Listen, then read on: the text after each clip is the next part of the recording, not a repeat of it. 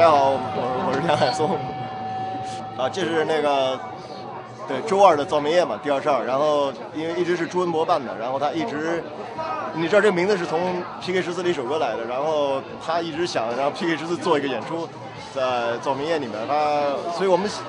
考虑了一些，也考虑了好长时间，然后所以决定做一个。然后但是我们想演一个比较特别的，就是谁谁谁和谁谁谁的整个专辑的呃演出，就全部只演十首歌。然后就一个按照顺序来演一个唱片，对，然后这就是一个想法。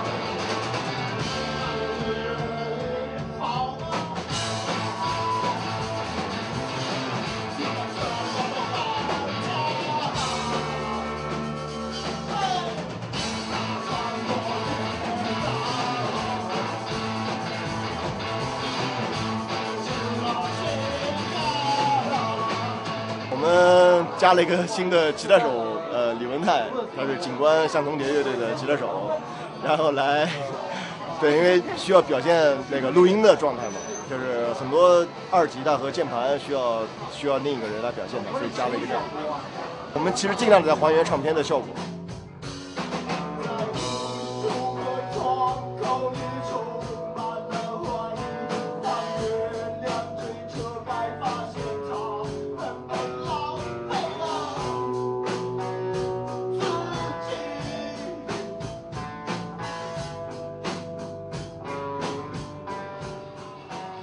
啊，反正观众疯了已经，我觉得，因为星期二来这么多人，我们真没想到，我们觉得可能没多少人，因为场面的影响力。对，然后而且周二嘛，然后演的也比较早，就是九点半左右就开始上台，然后对，反正而且而且对加了那个李文泰，真的感觉不一样，就是在台上非常就跟摇滚乐感觉，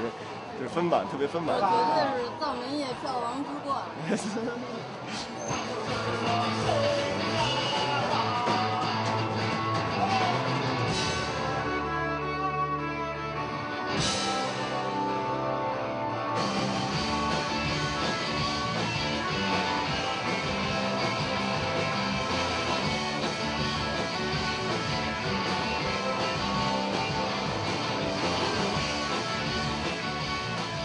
K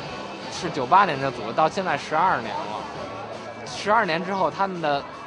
正式发表第一张专辑的专场，还能在礼拜二能来这么多人，我觉得这个一般乐队达不到这个这状态。我觉得这场演出是一个特别有意义的一个点，就是它证明了证明了“经典”这两个字的含义。我觉得在北京很少有这种演出了。好多演出寻找噱头，寻找寻找这那那个的时髦的表现，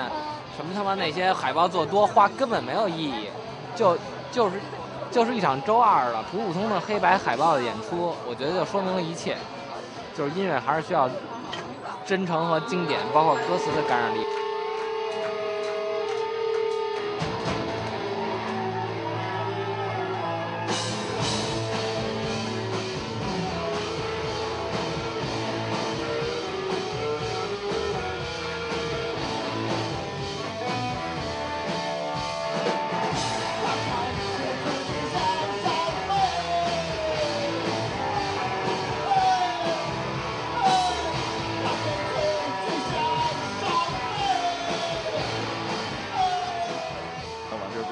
四张，五天演四天，一天演一张唱片，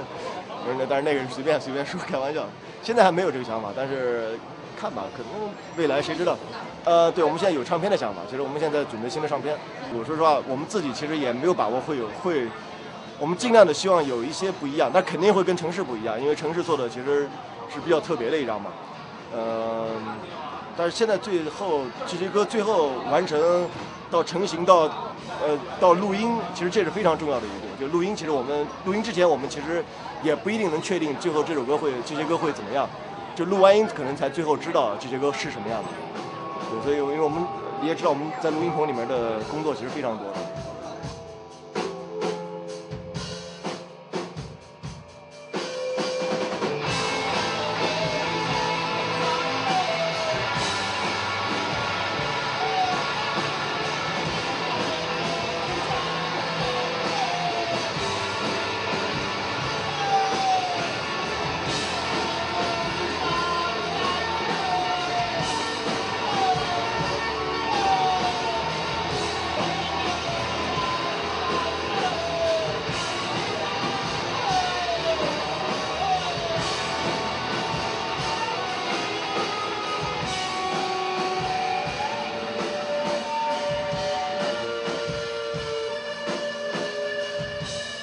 我刚才台上也说了，其实造民夜挺有意思，因为他给好多好多新的乐队，包括噪音的乐队，包括那个即兴的组合，提供了好多一个新的舞台嘛。而且，呃，大家都非常放松在这儿做这些，而且